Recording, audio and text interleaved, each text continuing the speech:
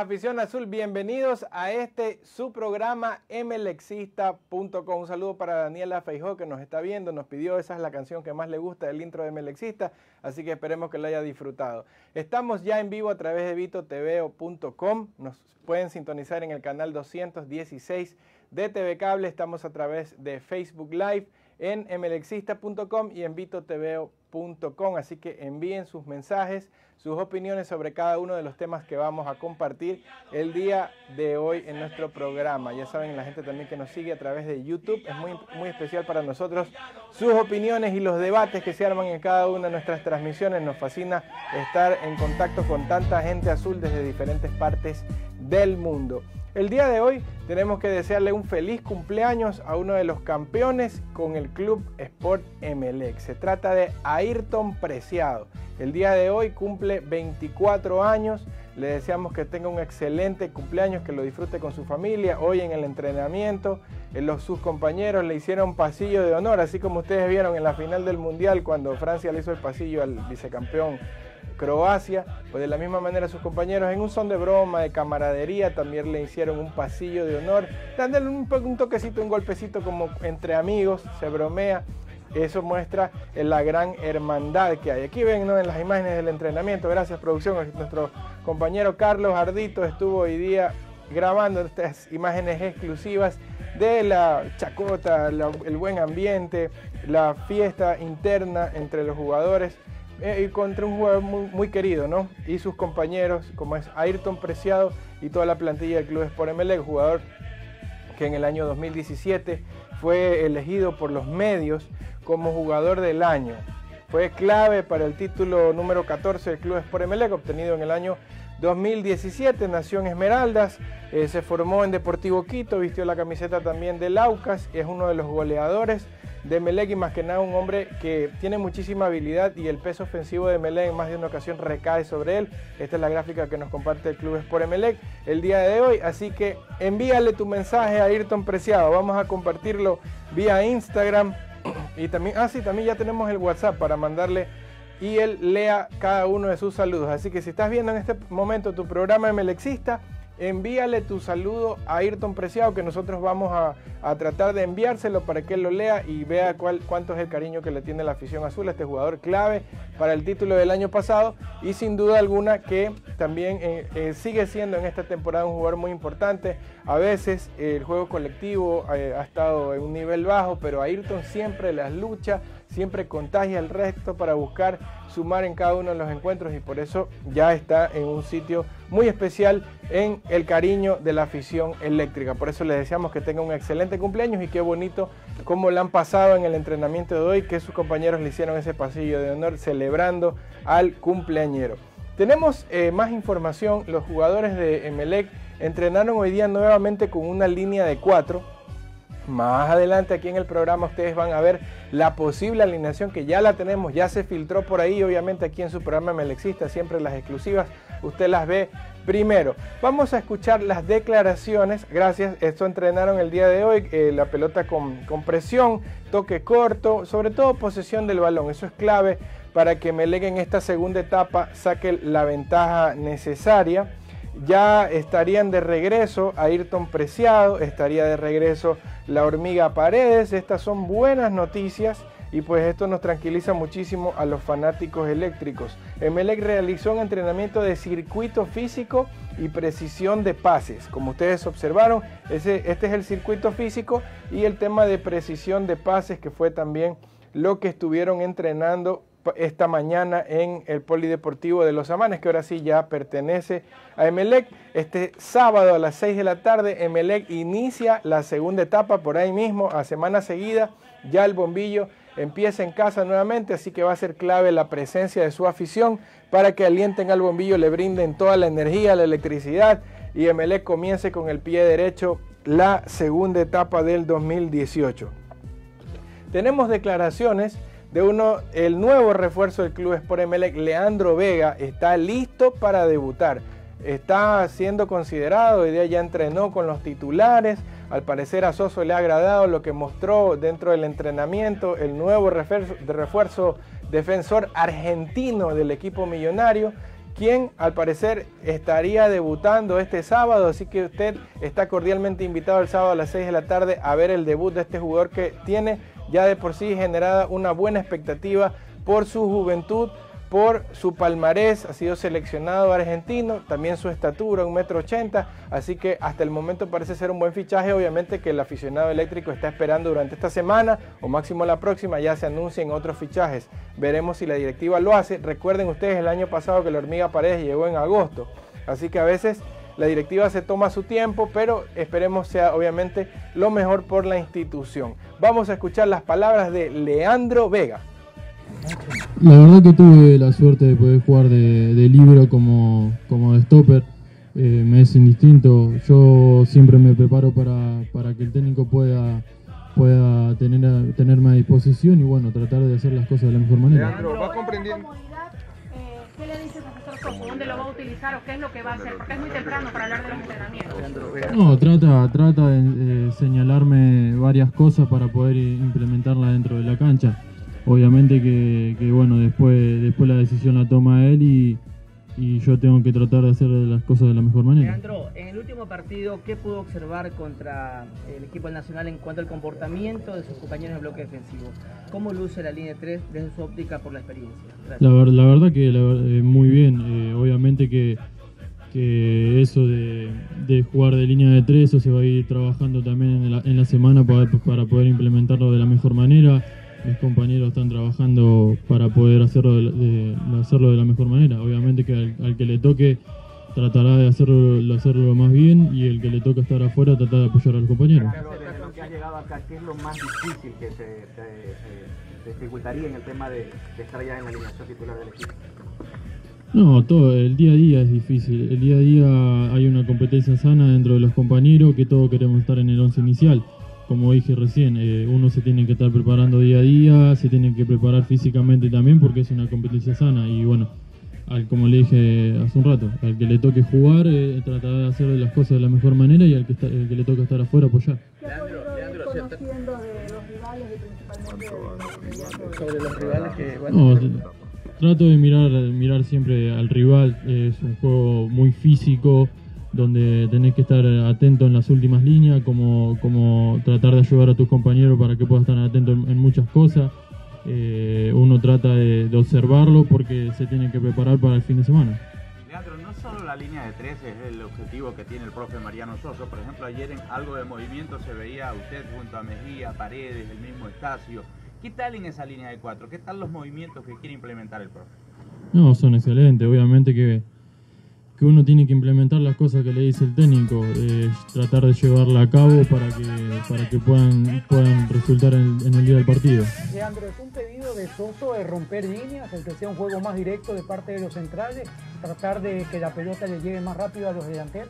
Sí, obviamente que eh, cuando la pelota sale de los centrales tienen que salir limpia, eh, tiene, tiene que también dar seguridad, porque si no da seguridad a veces es muy difícil tratar de salir jugando de abajo. Pero sí, eso es una de las... Damas y caballeros, acaban de escuchar a Leandro Vega, refuerzo argentino de Melec. Como lo acaban de escuchar, está tranquilo, está esperando la decisión del técnico. Hasta el momento parecería que este va a ser su debut, esperemos que sea de la mejor manera. Afortunadamente la primera fecha le tocó contra técnico universitario, obviamente con todo el respeto, disculpen si está viendo un hincha de este conocido equipo ambateño, pero si vemos la tabla de posiciones es uno de los rivales que se encuentra en las últimas posiciones. Esto le da tranquilidad para que pueda preparar una segunda etapa con mayor calma, porque pónganse, por, ejemplo, habría sido muchísimo más complicado debutar la primera fecha con un Barcelona, con Liga de Quito, con Nacional mismo, ¿por qué no decirlo? Del fin Independiente. Afortunadamente la primera fecha le toca con uno de los colistas del torneo, esto le da calma a Melec porque se va a sentir favorito y obviamente le va a permitir al profesor observar justamente al nuevo refuerzo algunas de las variantes que va a probar. Eh, va nuevamente a utilizar la línea de 4 porque la línea de 3 eh, tiene sus riesgos, tiene sus ventajas porque al momento de defender puede eh, llegar a estar 5 jugadores defendiendo atrás, pero también implica ciertos riesgos. Obviamente estas decisiones se las han tomado en base al rival que se ha enfrentado y también en gran porcentaje debido a la cantidad de jugadores lesionados que ha tenido el equipo millonario.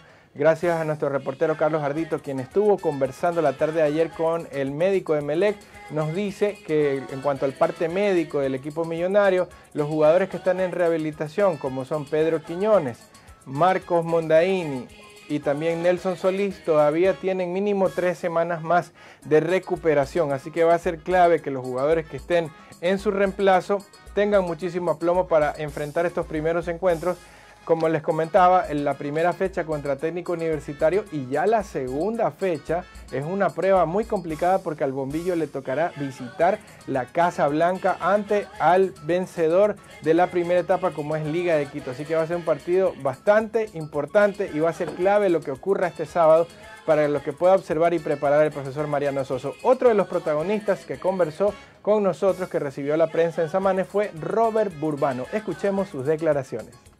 Sí, hemos venido de forma ascendente, eh, estamos contentos con el trabajo.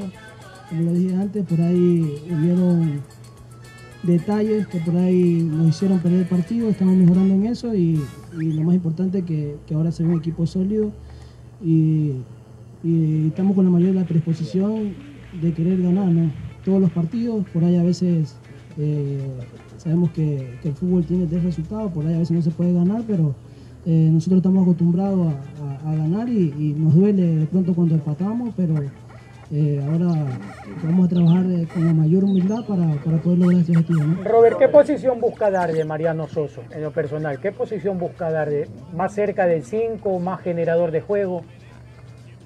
ahora lo estoy haciendo como un volante interno, con la oportunidad de poderme tirar a la banda eh, más que todo, como lo dije antes, eh, independientemente de qué puesto pueda jugar, yo creo que lo necesario será que, que yo pueda aportarle al equipo con, con ese granito de arena y, y así poder ganar el objetivo. ¿Han revisado el calendario completo de la segunda etapa, Robert? ¿Lo, lo han estudiado? Factible. ¿Han revisado el calendario completo de esta segunda etapa? ¿Lo han estudiado? ¿Factible para ganarla? Eh, sabemos que acá ningún partido es fácil, como te dije, tenemos que, que luchar. Eh, no podemos pensar en jugar una final, tenemos que pensar primero en, el primer partido que, se viene y, bueno, ahora lo, estamos trabajando, ¿no? Robert, de la forma como lo viene planteando el director. ahora pensar esta idea que busca el ¿Cuánto a la idea que busca Mariano Soso para recuperar el partido ante técnico eh, Como lo dije antes también, eh, por ahí sabemos que cada, cada técnico tiene eh, una nueva ideología, por ahí nos costó un poquito acoplarnos, eh, cada vez estamos más eh, más seguros de lo que, de lo que queremos, eh, cada vez estamos más convencidos del trabajo, eh, hay que creer en el proyecto y, sabemos que ningún equipo acá es fácil, todo equipo quiere venir a ganar MLE y, bueno, no hay que subestimar a ningún rival y trabajaremos para eso. ¿Qué preocupa del técnico universitario, Robert, con relación a este primer partido? ¿Cómo? ¿Qué preocupa del técnico universitario? Es un equipo que, que viene a jugar, que no se mete atrás y está tiene buenos jugadores y hay que cuidar también mucho eso. Robert, de la forma como lo viene planteando el profe Mariano Soso, ¿qué tan esperanzador se vuelve de que en poco tiempo el equipo pueda compactar y pueda defender? Eh, va a depender de nosotros, ¿no? De que sigamos creyendo en el trabajo, eh, de que por ahí estemos convencidos y... Sí, vamos. Y vamos a por acá Robert Urbano, eh, que ya... Con usted. Robert Burbano, quien ha sido en los últimos años eh, un jugador que se lo ha utilizado en diferentes posiciones en la cancha. Ha jugado de 5, ha jugado de enganche, ha jugado de volante por derecha. En donde se lo ha requerido, él ha estado. Un jugador con bastante entrega en la cancha, que siente la camiseta, tiene cosas por pulir todavía, es un hombre joven. Sin embargo, hay cosas que pienso que el momento que él termine de pulirlas, se va a volver otro de los jugadores de exportación para Emelec. ¿De qué hablo? El último pase. Un hombre que a veces cuando lo han puesto, por ejemplo, como volante, ese, ese último pase, ese centro, le falta por pulir. Eh, creo que es un jugador con mucho talento, con velocidad, entrega. Ustedes lo ven cuando pega un pique. Robert Burbano es muy complicado para sus rivales quitarle el balón.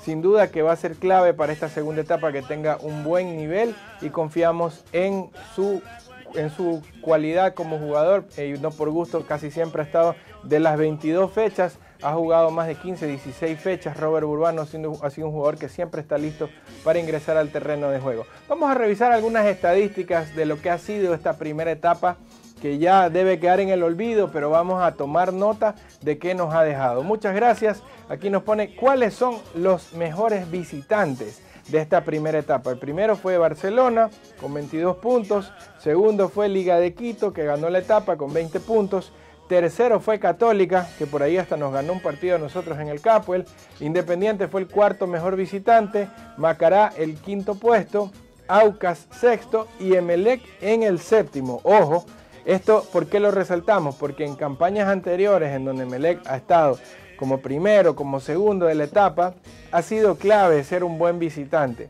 Y eso le ha costado. Emelec que inició ganando las cuatro primeras fechas del torneo, dos de ellas como visitante. Recordemos que la primera fecha le tocó contra Nacional y le ganó 2 a 0. Después, bueno, recuerden ustedes, Emelec entró en un bajón que le ha costado hasta ahora eh, tratar de recuperarse, sobre todo por muchas lesiones. Vamos a ver quiénes han sido los mejores locales. Muchísimas gracias, producción. Liga de Quito. Obviamente el equipo que ganó el primer puesto en esta etapa fue el mejor local con 26 puntos obtenidos en el estadio Rodrigo Paz Delgado. En esta primera etapa del 2018, en el segundo puesto está Emelec, que lamentablemente quedó en un cuarto lugar, pero ha sido muy fuerte como local. Eh, apenas ha tenido dos derrotas en casa, una de ellas con Liga de Quito, otra con Universidad Católica. De ahí otros puntos que ha cedido fueron como empate, pero Emelec la mayoría de sus partidos en casa los ganó.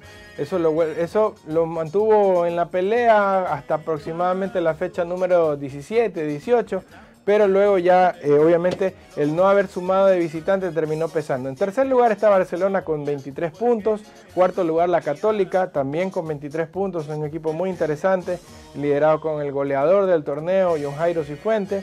Quinto lugar el Delfín, que tuvo mm, aproximadamente eh, hace pocas fechas, recién está recuperando su nivel de la mano del profesor Fabián Bustos, pero tuvo un mal inicio del torneo. En sexto lugar el Aucas y séptimo el Cuenca con 15 puntos como local, que también el Cuenca por eso está eh, bajo en la tabla, porque como local, a diferencia de otros años en donde ha sido mucho más peligroso, el Cuenquita hay que destacar que Melec está como segundo mejor local del torneo y esperemos que para la segunda etapa se mantenga siendo un local muy peligroso.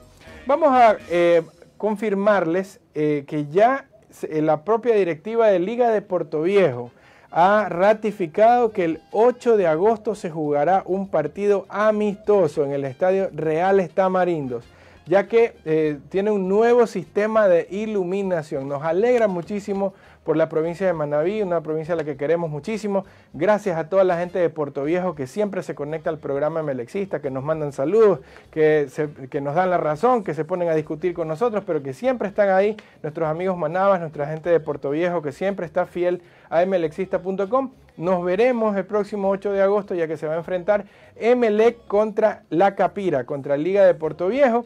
Y este detalle es muy importante.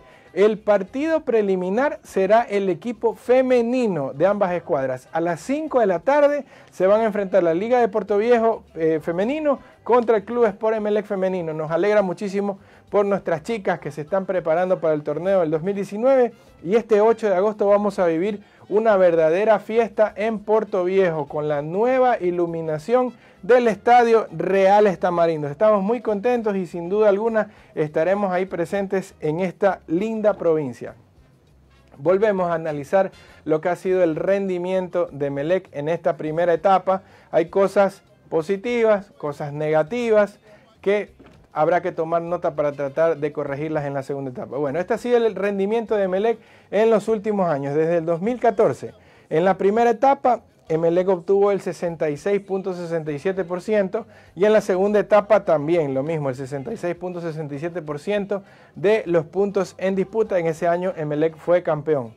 En el 2015, en la primera etapa, el 68.18%, Emelec ganó esa primera etapa. En la segunda etapa obtuvo el 65.15%, esa segunda etapa la ganó Liga de Quito. Se enfrentaron en Casablanca y Emelec fue tricampeón, dio la vuelta en Casablanca. Un interesante año. En el 2016, la primera etapa, Emelec obtuvo el 65.15%, en la segunda etapa 68.18%, pero en ese año el campeón fue el Barcelona Sporting Club, que tuvo un mejor rendimiento. Sin embargo, si ustedes se fijan únicamente en los porcentajes, van a ver que Emelec arriba del 60%, 65% de los puntos en disputa es, es, lo que ha obtenido. Y eso eh, ha bajado en los dos últimos años. En el 2017, Emelec en la primera etapa obtuvo un 57.58%. Recordarán ustedes, la primera etapa obviamente la ganó el Delfín y con todo merecimiento. En la segunda etapa ya Emelec con la llegada de la hormiga Paredes, con la recuperación de Guagua, eh, eh, ganó mucha más solvencia defensiva y en los últimos meses eh, Emelec se encendió y fue rumbo a su corona número 14 obteniendo el 68.18% de los puntos en disputa. Pero en este 2018, una vez terminada la primera etapa, MLE quedó en el cuarto puesto con un 56.06%, que es el más bajo de todos los porcentajes que ustedes están observando en esta pantalla. Entonces, obviamente algo está pasando. Obviamente algo hay que corregir. Los números no mienten y ustedes los están observando en cuanto al rendimiento de la cantidad de puntos en disputa, lo que ha obtenido Emelec en los años en los que ha sido campeón o vicecampeón del fútbol ecuatoriano. Entonces, el tema del rendimiento hay que mejorarlo. Vamos a ver más eh, información. Aquí tenemos los 22 partidos que ha jugado Emelec. 11 fueron victorias para Emelec, 4 fueron los empates y 7 las derrotas. 34 goles a favor Oh, Dios mío, 27 goles en contra, eh, prácticamente más de un gol por partido. Son 22 fechas y Emelec ha recibido 27 goles. Claramente Emelec ha en este semestre tenido claros problemas defensivos. Por eso Emelec ha tenido este 56.06%. Aquí en su programa Emelecista siempre nos gusta analizar con cifras el rendimiento de nuestro equipo. Y el tema de los 27 goles en contra son clave para que Melec haya obtenido por debajo del 60% que está acostumbrado en los últimos años donde, donde ha ganado cuatro títulos de los últimos cinco campeonatos en disputa. Hay que corregir el tema defensivo. Del local han sido 11 los partidos jugados, 8 victorias, un empate y dos derrotas. Como ustedes recuerdan, las derrotas fueron con Liga y con Católica. Un empate se dio el bombillo como local. De local el bombillo tenía un 75.76%, que viene a ser el mismo rendimiento de los, últimos años porque Melé como local se ha hecho siempre muy fuerte, no solamente en el Capel, sino también en el 2015, cuando estuvo de gitano por tantos estadios, le tocó jugar en Milagro, en Los Chirijos, en el Real Estamarindos, en el Hokkaido. Sin embargo, Emelec sacó mayor cantidad de puntos en disputa. Ahora, de visitante, el rendimiento es lamentable. Vean ustedes, 36.36%. Tres partidos ganados, tres partidos de empate y cinco derrotas. La mayoría han sido derrotas en Melec. En otros años en los que ha obtenido mayor porcentaje de puntos en disputa, ha sido clave ser un buen visitante. Ser invencible en casa, de repente, bueno, ningún equipo es invencible. En algún momento te pueden ganar en casa, es normal. En el fútbol se puede ganar, perder, empatar pero tratar de que sea la, menor cantidad de derrotas posible. Pero en este año de visitante se nos ha complicado y bastante. Ustedes están viendo, de los 11 partidos de visitante han habido 5 derrotas que lo dejaron en Melec sin la pelea por la etapa hasta el final. Este ha sido el rendimiento del bombillo. Lleva tu banco a todos lados. Realiza tus transferencias, pagos, consultas y más con nuestra banca digital tu banco sin ir al banco, la banca digital del Banco del Pacífico. El día de hoy el Club Sport MLE compartió en sus redes una información muy interesante sobre uno de los jóvenes prospectos con los que el bombillo cuenta para un futuro. Esta es una de las costumbres, siempre brindarle oportunidad a la juventud y uno de los auspiciantes del equipo millonario eh, hace que a través de las redes sociales del club se comparta alguna entrevista a uno de estos pequeñines que algún día quiere vestir la camiseta del Club Sport MLE como un profesional. Hoy día les vamos a presentar a Ronaldo Espinosa, el goleador de la Sub-12 que sueña obviamente con que griten sus goles en un capo el lleno. Escuchemos y conozcamos sobre Ronaldo Espinosa. Voy a ser el próximo goleador de Melé. Me motivó el fútbol porque yo, cuando de entrar a la cancha, yo quiero hacer goles y voy con ansia al partido. Para ser un buen delantero necesito más práctica, más tiros al arco y más movimiento. Yo admiro a Brian Angulo por, por su manera, que se entrega en el partido, se lleva con todos los compañeros y me gusta todo. Mi sueño como futbolista es llegar al Real Madrid y ser el goleador. Así que tranquilo, el futuro de Melé ya está asegurado.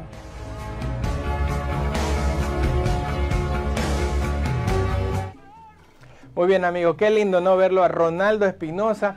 Guarden estas imágenes porque si ese chico de aquí a mañana se vuelve un crack de nuestro balompié, seguro van a recordar que ustedes lo vieron aquí primero en mlexista.com. Qué lindo ver la ilusión en un pequeño que desea convertirse en figura de Melec y obviamente del balompié ecuatoriano. Ustedes tienen que conocer la fiesta del balompié, la fiesta de los Juegos Nacionales Juveniles de Fede Guayas. Vuelve la fiesta del deporte a la provincia del Guayas. Sé testigo de la victoria guayaca. Vive los Juegos Nacionales Juveniles 2018 hasta el 19 de julio en los escenarios de la Federación Deportiva del Guayas. No faltes, te esperamos. Para mayor información visita fedeguayas.com.es o las redes oficiales de Fede Guayas. Los Juegos Nacionales Juveniles 2018 hasta el 19 de julio. Así que esta es la fiesta deportiva de nuestra provincia. Visite fedeguayas.com.es y sus redes sociales oficiales. Qué bonito, ¿no? El deporte. Bueno, uno de los jugadores que recordamos con bastante cariño, que vistió nuestra camiseta, que nos hizo gritar goles, es Ángel Mena. Hoy en día él está muy feliz. Como ustedes saben, él ya es papá, tiene dos hijas pequeñas, actualmente juega en el Cruz Azul y su esposa está nuevamente embarazada. Ya se conoció el sexo del bebé y será un niño. Va a tener su pequeño varoncito. Así que felicitamos a Ángel Mena, que lo recordamos con mucho afecto, jugador que nos, que nos dio un tricampeonato con sus goles, con sus pases gol, con esa dupla que hizo con Miller Bolaños. Eh, recordemos en el 2016 también cuando quisieron hacer una final inventada y él metió dos goles. Por favor, todo un crack que lo recordamos con muchísimo afecto, Ángel Mena. Lo felicitamos, ya sabe, como el globito dice, voy, ya se reveló que es varón, va a ser un niño. Está contento como todo papá que obviamente siempre quiere tener también su varoncito. Él adora a sus princesas, a sus dos pequeñas, a su esposa, pero obviamente está feliz, esa sonrisa de oreja a oreja que ustedes están viendo, va a ser papá y va a tener un niño, así que le enviamos un abrazo a la distancia. Angelito Mena, felicitaciones. Bueno, de esta manera cerramos el programa de hoy. Muchísimas gracias. No se olvide, comparta este video. Si usted nos está viendo en Facebook, si nos está viendo en YouTube, compártanlo en sus demás redes sociales. Dele a otro melexista, copie el enlace, péguenlo en WhatsApp, pónganlo en sus grupos envíenlo a otros azules para que estemos siempre unidos e informados con este su programa mlexista.com. Un abrazo grande, nos vemos mañana. Chao, chao. Thank you.